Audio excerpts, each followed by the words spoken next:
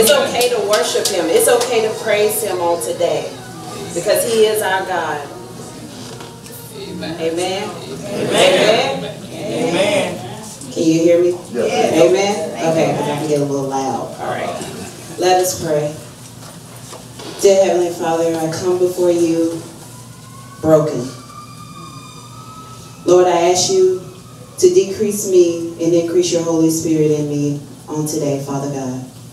Lord, we honor you and we bless your holy name. You have been so good to us. Even if we had a thousand tongues, we cannot praise and honor you enough. So, Lord, hear our cry. Do not turn your ear away.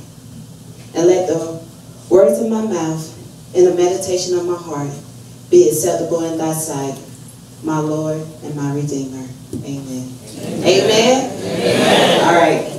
Amen. Well, it's an honor to be able to stand across this pulpit. As you can see, I'm a little nervous, but the Holy Spirit has me. How many of you know about that? How many of you know about that? See, like the word of God said, that there is joy in him. There's going to be no more pain and no more suffering. Amen. Amen. First of all, I would like to thank everyone on behalf of my family for your presence today in honoring my grandfather. Now let me set the record straight. For any of you that may not know, I have yet to arrive. I am broken. Do not let this clergy fool you. Because you have to be able to be broken, to be able to stand before his presence, and to be able to stand in the holies of holies. So I'm going to go on and fix it because this is my family, and everybody know all my deep, dark secrets. so, so while you thinking, oh, that's just Doug. yes, to call my nickname out. Uh, I'm a broken vessel for the Lord, and he's still using me. Just a little background about my grandfather. As I was preparing for this message today, had a lot of mixed emotions, a lot of anxiety. And anyone that know me, I'm like, ah, I gotta, my brain goes really to the left and I gotta make sure it's just perfect. But God has it. But then I started to think about my childhood and the time I spent with my granddad and all the crazy memories with this crazy family. Started to flood back through my head. And I said, okay. For those that don't know my grandfather, he was not a man of a lot of words. Unlike his granddaughter standing here today, I tend to have the gift of gab. So if I go over just a little bit, somebody do like this, you know the church folks bring it, yeah. Amen? Amen. The only way that you can get my grandfather to talk is to either talk about his favorite team, who were the Atlanta Braves, wrestling, or do something to my grandmother. and we all knew that if you did something to my grandmother, you're going to pay for it. Or jump on him like my brother did and and my cousin Jamal out there. He's probably still feeling that butt whooping. I am the seventh of ten grandchildren. And we all had nicknames. I just said mine. If you was listening, I will not repeat it again.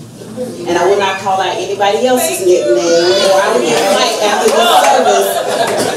So I would like to leave out of here. Don't mention mine. Yeah, as you can hear. So my granddaddy, he, he knew everyone's name, but he would never call you by your name. So you just accepted whatever he gave you.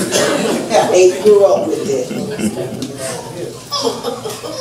He was not a man of many words, but his presence resonated throughout this family. Growing up, I could not understand my granddad, but now as an adult and as a woman of God, I now understand what I was watching. I was watching a natural born leader.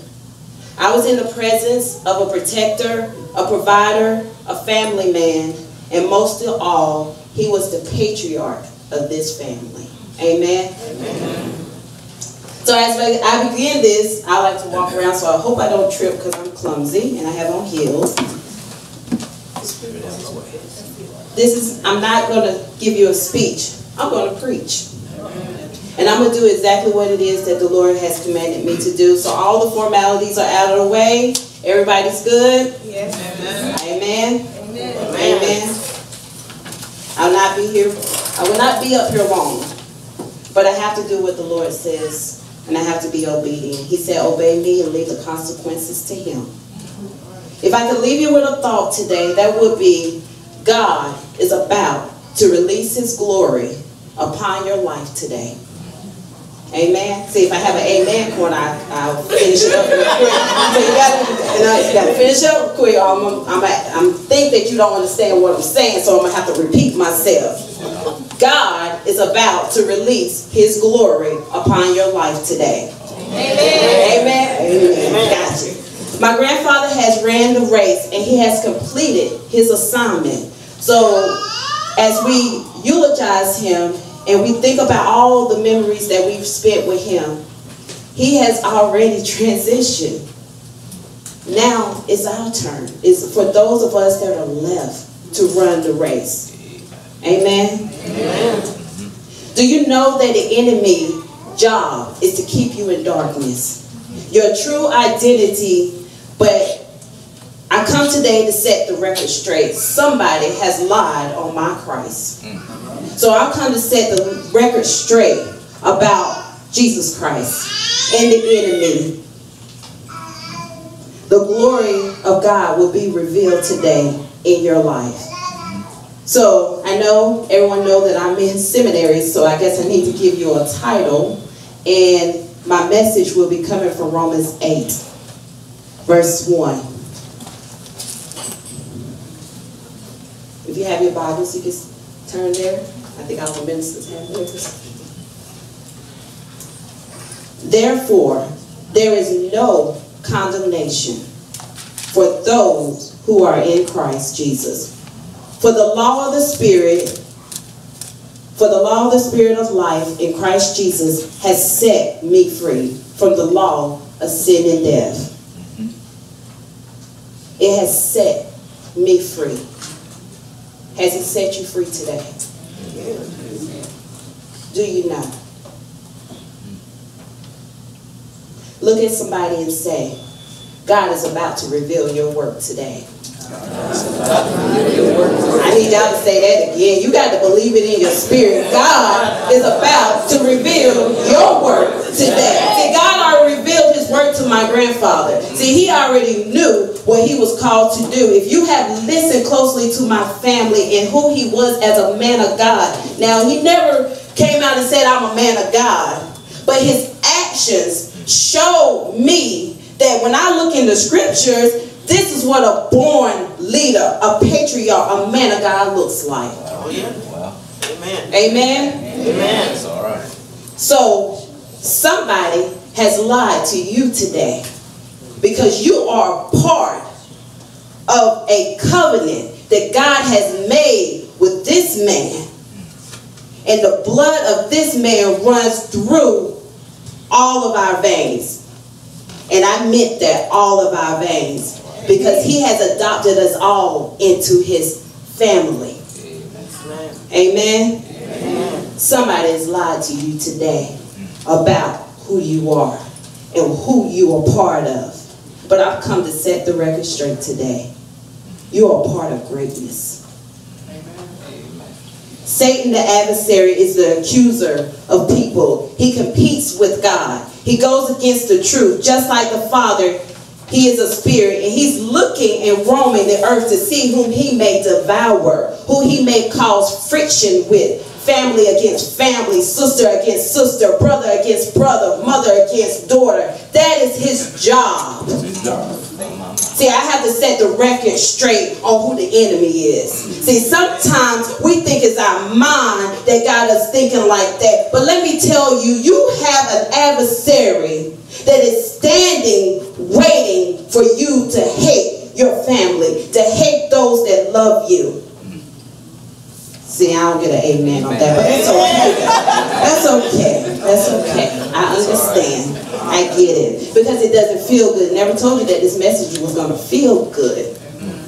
But I have to do what thus says the Lord. He uses the ones that does not know his power or know the power that God is giving you. Do you know you have power on today? Do you know you can speak things in the atmosphere and it can happen when life and death is, is in the power of the tongue? You can speak life or you can speak death. Which one? Choose ye this day.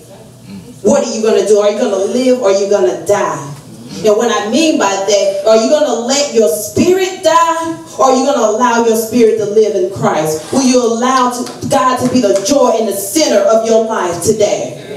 Can I get an amen? See, y'all get quiet on me. So maybe I'm thinking maybe the spirit's resonating your spirit on today. But as I was here to yesterday and I was looking at my grandfather, and I'm all off, but I, that's all right. That's all right. I do what the Lord says. But I was I spent some time with him.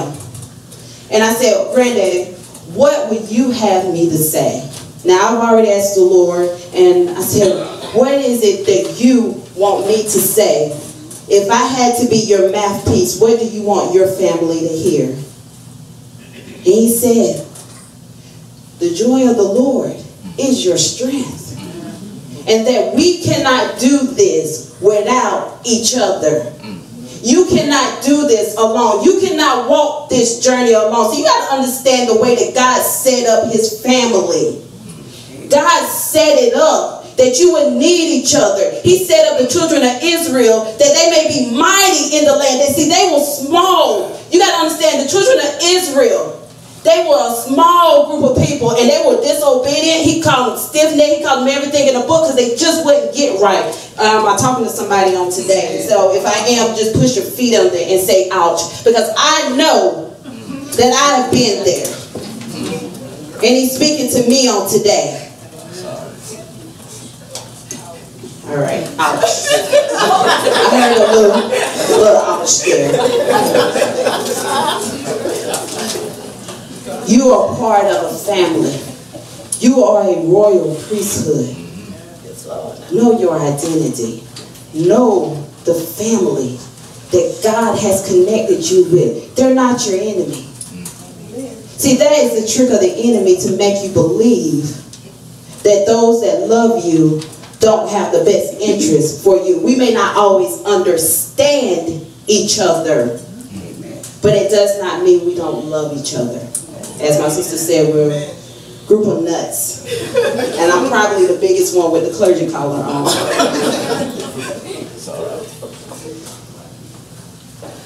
Amen. Amen.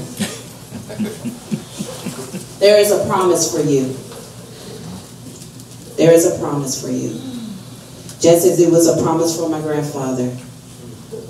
One of the things that, as I was spending time with him, one thing that I've learned that he was not a man of many words, but his actions showed this family what it's like to walk according to the will in service of God.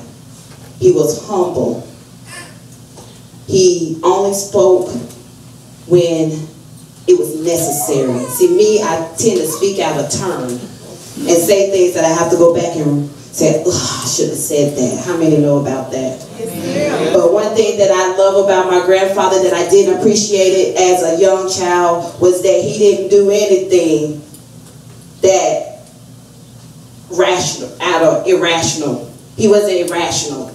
Everything he thought about. Mm. At least that's what I saw. God knows that you have been healed but he wants you to see the sickness and the pain and the suffering that we are feeling right now. That's the job of the enemy. And it's okay to grieve. It's okay to go through the process. But God is saying, don't stay there. Don't stay there. There is a work for you to do.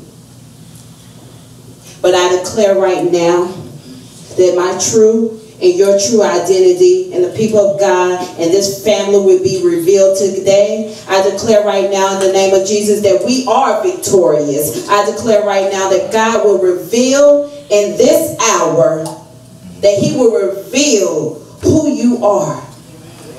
In this time, see, let me stop right here. It takes going through to understand who you are If you look at everyone in this Bible, every biblical character in this Bible, they had some mess with them. When you get a chance, pick up your word and see, because you're not the only one. There has been suffering. He said, I gave my only son that you might live, that you might be called into the family of God. You, you, and you. But see, there is a process to this. See, the only way that you can say I'm a part of this family is to accept him and to believe that he is who he said he is. Amen. Somebody has lied to you. You are part of a chosen priesthood. Go and find who you are. Study to show yourself approved, a worker that needed not to be ashamed, rightly dividing the word of truth. You are called for more than where you're at. Amen. Amen. Do you know that a change is getting ready to come to this family? Do you know that? Do you believe it? See, you have to know it and then believe it in your heart that change can take place in your life. See, my grandfather's time was already set for him. See, we don't know our time. See, God could have took him 20 years ago when he had a stroke. But God decided no. So he waited to, for him to see me and my other, you know, all his grandchildren grow up and his great grandchildren See, you look at that bed and you look at it and say, well, my dad or my granddad or my great granddad or my uncle or wh whoever he was to you was laying back and he was no longer the strong man that we knew. But let me tell you something. Somebody has lied to you on today. Let me tell you something. The enemy has lied to you. Strength is not that you can pick up something or you can walk with two feet. There are some weak English that are walking on two feet right now. And my granddaddy was stronger on his back. Because he decided before the stroke that I'm going to serve the Lord. And what God did was use that to prepare him for those 20 years. I cannot imagine, as I was thinking and preparing for this, I cannot imagine being on my back for 20 years, not being able to drive, not being able to do anything anymore. Or at least that's what I was thinking. Like, I'm so used to going. And to, if you knew my grandfather, you would know that he was always moving. He was always, I mean, he was the same size as my uncle, if not bigger. So can you imagine living like that? And then something like a sickness to take you and knock you off of your feet. It's hard. We never really thought about it like that. It was, we got to go see granddaddy or daddy in the nursing home. But have you ever stopped to think that God was using him to do something to this family? Amen. He was using the patriarch. He knocked the patriarch off his feet to do something with us. Somebody has lied to you. Somebody has told you a story that somebody is the adversary and is Satan. He has lied to you on today. You are much more than what you think. Amen? Amen. I think I got off. But I just come by to tell you that God is good. He is good. And this is not, I guess, your typical eulogy, but this is my grandfather. So I figured that since God has chosen me to be the mouthpiece, I guess I can be the mouthpiece for my grandfather. And if he can look at us right now, what would he say? Search your heart today. Is he pleased with you? Is he pleased? Is God pleased with you? Okay. That's all right. As I continue to read in Pastor's verse 18 in Romans, for I consider that the suffering of this present time, I consider the suffering of this present time is not worthy to be compared to the glory that shall be revealed in us. In you. This is what God is saying to you today. The suffering the pain, the sorrow that you are feeling on today, the things that nobody knows that you're going through, all the tears, all the heartache, all the anger, all the broken heart, all the promises that people have made, family that has broken promises, strife, envy, hatred that has come, all of that, all of that suffering that you are going through right now, there's no comparison to the glory that shall be revealed in us. Amen. Amen. I just come by to tell you that the Spirit helps us in our weakness, in our time of need. We may not know what to pray right now because the pain is so deep. But God said that the Spirit would intercede for us with sighs too deep for words. When I think about how little my grandfather said, it makes me wonder if he already had it figured out, allowing the Spirit to intercede on behalf of his family, on behalf of you. The book of James says, verse 1 and 19, But everyone must be quick to hear, slow to speak, slow to anger. Be careful what you release in the atmosphere. And if any lesson or any takeaway that I can or remember of my grandfather right now, it would be that. Be quick to hear, slow to speak, slow to anger. Guard my words. Because what I release in the atmosphere, there's life and death in the power of the tongue. And those that love it will eat its fruit. And even though we are weak right now in this moment of sadness. We have to speak life in this dark place. The book of Joel 3 and 19 says, Let the weak say that I am strong. See, I could look at, or you could look at what the last year of my grandfather's life and say he was weak. Or when I had to go to the nursing home and hold his arm up because I could I could have looked at that and said, "Oh, he is weak." He is feeble.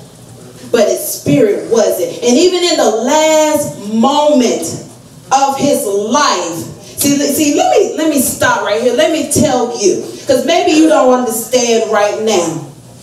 In his last moment, while we were up there praying for him, the last night that we saw him before he passed, we played Take Me to the King. And all I saw or all my sister and my cousin saw was his hand go up like this. He said, let the weak say that I am strong. Amen. So whatever it is that you're going through today, whatever it is that you're feeling right now, speak life. Speak life. Because you can make it. You can make it. Stay faithful. Love each other. The devil cannot curse what God has blessed. Again, the devil cannot curse what God has blessed. Love one another according to the word of God. He will raise up an army of men, women, children that will continue to be my grandfather's hands, his feet, his mouthpiece and we will carry the banner of God's truth on our shoulders. The legacy of our grandfather has become now our work. God is about to reveal his work in you and through you. Let not your heart be troubled. Believe in God. Believe also in me. If you love him, you will keep his commandments. Peace Jesus will leave with you today. His peace that he gives, not as the world gives it, that he gives it. I say to you, let not your heart be troubled, neither let them be afraid. For Jesus has sent us a comforter, no more sorrow, no more pain, because my granddad has seen the glory of the Father that will be revealed in us one day. Amen? Amen. Amen. Thank you again.